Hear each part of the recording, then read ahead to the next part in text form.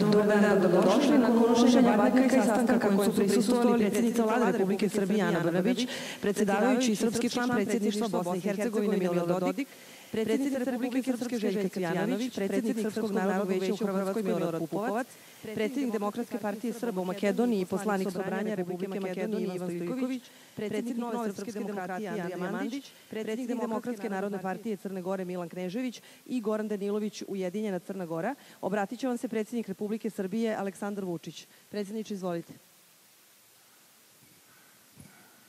Govorit ćemo sa predsjednik Dodik ako imate pitanje za bilo koga drugog. Milorad je Pupovac upravo otišao za Zagreb, pošto u 12 imaju unošenje badnjaka u Zagrebu. Hoću da svim pravoslavnim vernicima čestitam badnji dan i mi smo imali prvi deo sastanka, sad imamo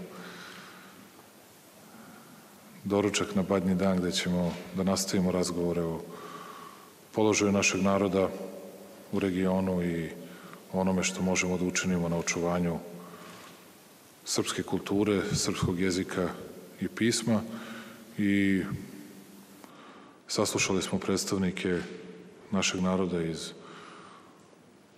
različitih krajeva, različitih delova našeg regiona, videli sa kojim se problemima suočavaju.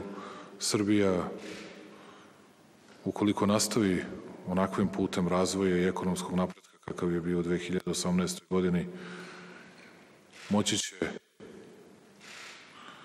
još više da pomogne našim ljudima i u izgradnji vrtića, škola, bolnica, domova zdravlja, ali rekao bih posebno u različitim vrstama poduhvata iz oblasti kulture, rekoh očuvanja našeg jezika i pisma, snaženja naše nacionalne svesti i očuvanja srpskog imena i prezimena.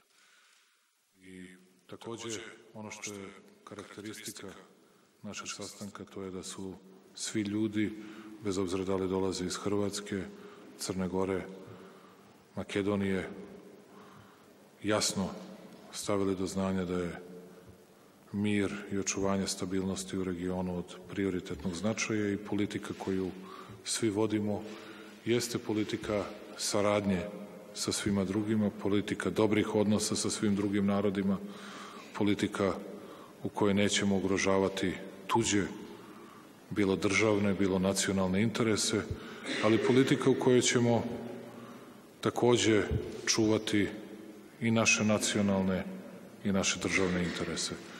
I to je nešto što se ni na koji način ne sučeljava i ne sukobljava, već je nešto što bi trebalo da podstiče jedno drugo. Mi sa Republikom Srpskom i Bosnom i Hercegovinom, kao što znate, imamo veoma bliske, veoma dobre odnose. Bosna i Hercegovina je jedan od naših ključnih trgovinskih partnera, ali to su i Crna Gora i Makedonija, pa i Hrvatska i sa svim tim zemljama Republika Srbija ima suficit u svom trgovinskom odnosu. To znači da su te zemlje od izuzetnog značaja za nas, jer su to prostori na koje mi možemo na najbolji i najuspešniji način da plasiramo i svoju robu i zato je od posebnog našeg interesa da sa tim zemljama imamo veoma dobre odnose. Mi smo se okupili i danas zato što znamo da naš narod čeka ne laka politička godina, verujemo da će ekonomski godina biti veoma uspešna i da će Srbi kao i svi drugi građani Srbije živeti neuporedivo bolje, a znate koliko nas izazova čeka i po pitanju Kosova i Metohije i koliko problema imamo i sa opstankom našeg naroda i položajem našeg naroda na drugim mestima u regionu. U svakom slučaju, ne ugrožavajući nikoga drugog, ne želeći nikom drugom ništa loše, ovo je jedan od sastanaka u kojima smo izneli i svoje stavove i saslušali jedni druge, nastavit ćemo sa tim, gledati jedni drugima da pomažemo, a Srbija će iskoristiti tu priliku da sobstveno jačanje i da ekonomski napredak svoj bude ne samo dobro primljen, ne samo dobro prihvaćen, već da od toga koristi imaju i naši ljudi i naš narod, naročito u očuvanju našeg kulturnog, jezičkog i nacionalnog identiteta. Još jedan put želim da svim građanima Srbije, pravoslavne veroispovesti, svim Srbima u regionu poželim srećan badnji dan, srećan predstojeći Božić, uspešnu novu godinu i ono što mi se čini da smo mi uspeli, ako to smem da kažem, kao važan rezultat, a to smo najpre uspeli u dogovoru sa predsednikom Dodikom i predsednicom Cvijanović, i Ana i ja još ranije, mislim da smo to uspeli sa svima, a to je da čak i kada imamo razlike između sebe, kada ne mislimo isto, da odnos Srbije prema pripadnicima svoga naroda uvek bude odnos poštovanja, odnos razumevanja i odnos podrške, a da sličan odnos poštovanja prema Srbiji pokazuju i predstavnici našeg naroda. Da nikada više ne dođemo u situaciju u kojoj smo bili i 90. i početkom 2000. godina, dakle, da imamo tu vrstu sloge kakvom Srbi nisu mogli da se diče decenijama, da ne kažem vekovima. Još jedan put hvala i zamolio bih uh, i ovo kažem predsednika Dodika, predsedavajućeg predsedništva, ako sam to sad tačno rekao, Bosne i Hercegovine, Milorada Dodika da vam se obrati. Hvala predsjedniče. Predsjedniče Dodik, izvolite. Hvala predsjedniče, svima sretna nova godina. Srbima gdje god bili, sretan badnji dan i sretan Božić sa tradicionalnim pozdravom Mir Boži i Hristos se rodi.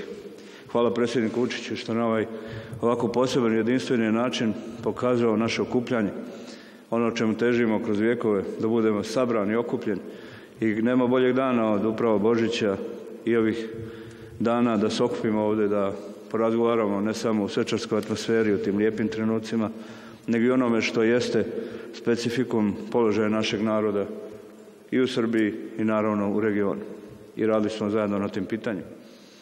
I svi smo mi zagledani u Srbiju i želimo je veliki uspjeh i naravno pomoć koja je Srbija spremna u okvirima međunarodnih i drugih standarda da pomogne našem narodu u Republike Srpskoj i našoj narodnoj zajednici, bilo kojoj republici u okruženju, svakako da danas veće i predsjednik Vučić i predsjednik Cana upravo su nas o tome, o tim mogućnostima obeveštavali. I to je dobro vijest za sve nas, sve ljude gdje god žive.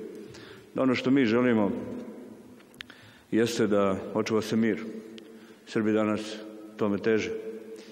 Ponekad izgleda da se neopravdano povlačimo od silnih napada prema srpskoj nacionalnoj zajednici u određenom mjestu ili čak i prema Srbiji koje dolaze sa drugih mjesta, potpuno neopravdano su ti napadi usmjereni, ali evo mi ne želimo konflikte kao što se vidi, ali to nije dovoljno da konflikta i nerazumijevanja među nama nema. Mi želimo u Bosni i Hercegovini da izgradimo ustavnu poziciju srpskog naroda i Republike Srpske. Nama je Republika Srpska sinonim za slobodu srpskog naroda, a Srbija je sinonim za naš život i da u tom pogledu se tako i ponašamo. I mi želimo da legalizujemo taj pristup, jer on ne vriđa nikog. Ko što ja ne smatram da je problem da bošnjaci ili bilo ko drugi iskažu svoje interese koje ne vrijeđaju druge, tako smatram da, će, da je veoma važno da mi jasno govorimo o tim pitanjima.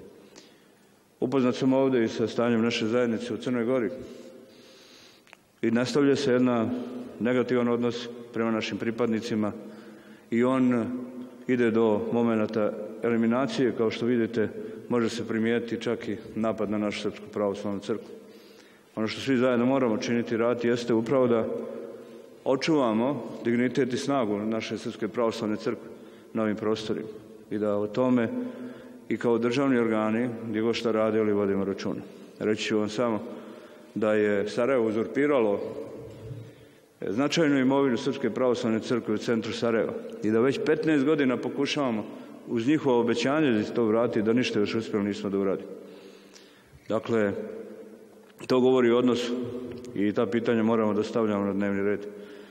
Čuli smo i o položaju hrvatskog, srpskog naroda u Hrvatskoj, kao i u Makedoniji.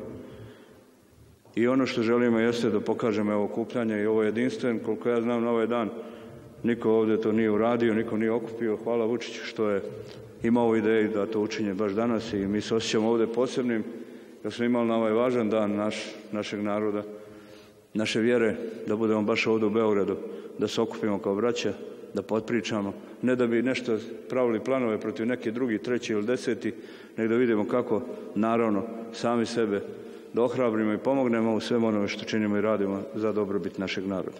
Hvala svima. Hvala predsjedniče. Dragi kolege, hvala vam. Ovim je današnje obraćanje završeno.